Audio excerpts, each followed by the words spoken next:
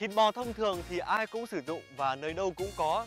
Nhưng nhắc đến sản phẩm bò một nắng hai xương muối kiến vàng thì chỉ có ở vùng cao nguyên Sơn Hòa, một vùng sơn cước của tỉnh Phú Yên.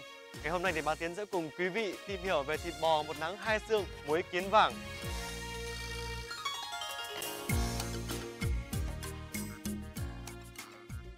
Bò một nắng hai xương, sản phẩm nông nghiệp tỉnh Phú Yên, nơi phân bố chủ yếu tại huyện Sơn Hòa với khoảng 12 cơ sở sản xuất.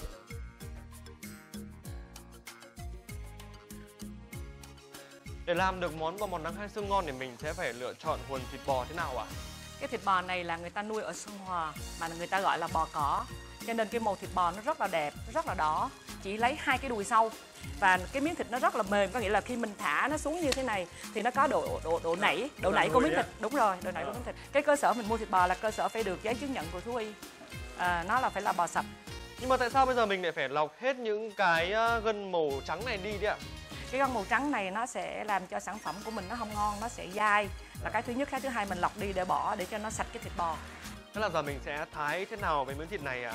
cái thịt này là mình phải thái theo sứa này này tí là 10 10 cm và khi thái là những miếng nhỏ là loại hẳn ra ngoài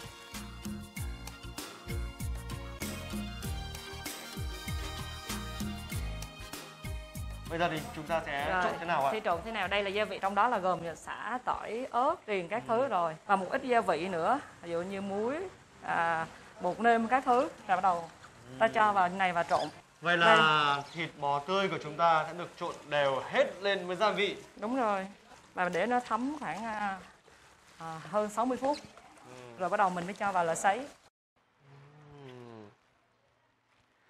Sau khi đã được tẩm ướp gia vị rất là công phu rồi thì chúng ta phải đợi trong vòng 60 phút để gia vị thấm đều và sâu vào từng miếng thịt. Bây giờ thì sẽ bắt đầu sấy thịt bò thôi. Sau khi là ướp gia vị thấm rồi bắt đầu ta sấy à, sắp như thế này và sấy à, chín từ 50 đến 60 phần trăm và ừ, cái à, cái sấy của mình là bằng than hoa. Ừ, khi mà em sấy than hoa thì à, nó sẽ nóng từ từ và cái à, độ ngọt của thịt bò nó sẽ rút vào giữa cho nó không mất đi cái à, chất ngon của thịt bò. Thế là mình sẽ phải sấy trong vòng bao nhiêu lâu ạ? Cái này là mình sấy trong à, vòng là 120 phút ạ. Rồi, đây rồi.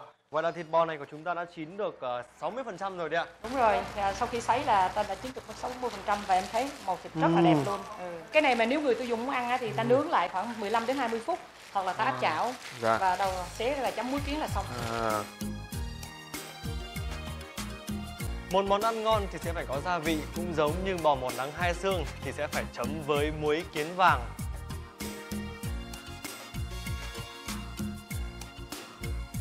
Ừm.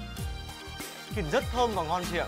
Khi chấm cùng với kiến vàng, chua chua, cay cay, một hương vị đặc biệt khó tả luôn. À, cái muối kiến vàng này được làm từ người dân tộc Ede và nó làm từ kiến, muối, ớt và kiến phải rang chín trước khi làm muối kiến này. Wow, giờ thì Tiến mới hiểu tại sao món ăn này lại có tên là bò một nắng hai xương. Không phải bởi vì nó được phơi ngoài nắng ngoài xương, mà chính sự tỉ mỉ, dày công của người chế biến đã làm ra món đặc sản rất riêng của Phú Yên này. Thị trường tiêu thụ Đà Nẵng, thành phố Hồ Chí Minh, Cà Mau với sản lượng khoảng 15 tấn trên một năm.